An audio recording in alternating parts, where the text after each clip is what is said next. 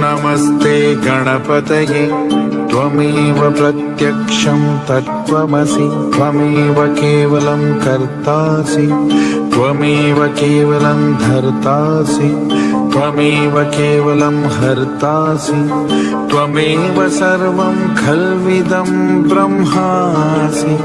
त्वं साक्षादात्मासि नित्यं त्रितं वच्मि सत्यं वच्मि अवत्वं मा अवभक्तारम् अवश्रोतारम् अवदातारम् अवधातारम् अवानुचानमवशिष्यम्।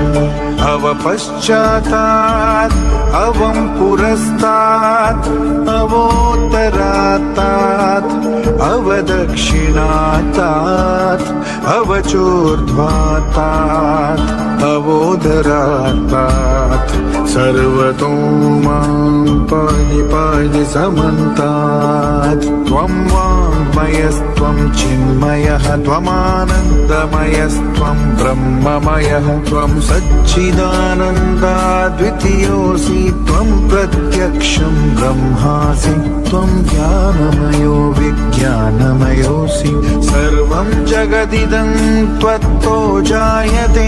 सर्वं जगदिदं त्वत्तस्तिष्ठति। सर्वं जगदिदं त्वयि लयमीष्यति। सर्वं जगदिदं त्वयि प्रत्येति। त्वं भूमिरापो नलो निलो नभः त्वं चत्वारि वाक्पदानि त्वं गुणत्रयातीतः। त्वम् अवस्थात्रयातीतः त्वं देहत्रयातीतः त्वं कालत्रयातीतः त्वं मूलाधारस्थितोऽसि नित्यं त्वं शक्तित्रयात्मकः त्वं योगिनो ध्यानन्ति नित्यं त्वं ब्रह्मा त्वं विष्णुस्त्वं रुद्रस्त्वम् इन्द्रस्त्वम् अग्निस्त्वं वायुस्त्वं सूर्यस्त्वं चन्द्रमास्त्वं ब्रह्मा भूर्भुवः सुवरो गणादीं पूर्वमुच्चार्य वर्णादींस्तदनन्तरम् अनुस्वारः परतरः अर्धेन्दुलसितं तारेण रुद्रम् एतत्त्वमनुस्वरूपम्।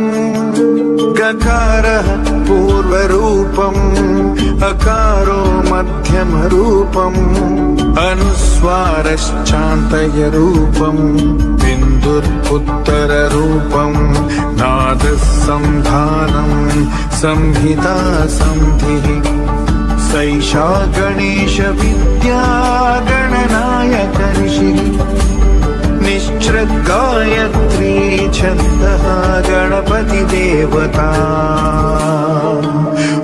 गङ्गणपतये नमः।